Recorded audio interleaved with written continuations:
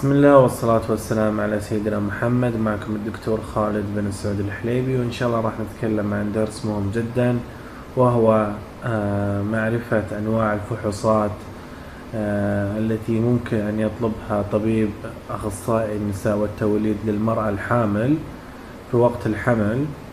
طبعا خلال فترة الحمل قد ينصحك الطبيب أو الممرضة بالقيام بعدد من التحاليل الأخرى.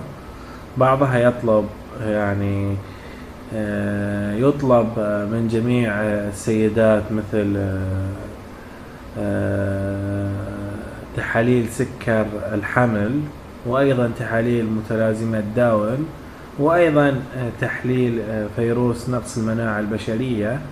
قد يطلبها يعني مجموعة من الدكاترة المتخصصين في النساء يعني في تخصص النساء والتوليد. وبعض التحاليل الأخرى يتم يعني طلبها طبقا للآتي مثل عمرك قد يعني يكون عمرك آه، مثلا خمسة وثلاثين ممكن يطلب طبيب آه، النساء والتوليد بعض التحاليل الأخرى المضافة إلى التحاليل الطبيعية العادية وأيضا التاريخ الطبي الشخصي لك وأيضا غالبا يكون آه، التاريخ الطبي الشخصي للعائلة نفسها أيضا.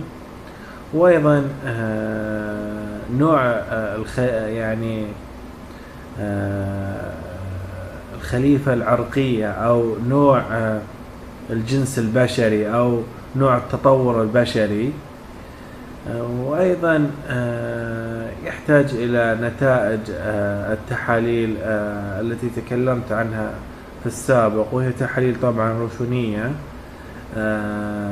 مثل تحليل سكر, الحمل أو متلازمة داون أو فيروس نقص المناعة أو بعض أنواع من آه، التحاليل الاخرى مثل تحاليل آه، معرفة. إذا كنت يعني أخذت أنواع من آه، الأمصال التي يعني تم في السابق إعطائك لها يعني إعطائك مجموعة من الأمصال التي تساعدك على الحماية من آه، أمراض آه، في المستقبل ممكن يعني يشيك عليها الدكتور أو يلاحظها أو يعطيها نوع من أنواع الاهتمام أو تختصر نوع من أنواع الاهتمامات يعني أو الفحوصات في آه، فترة الحمل.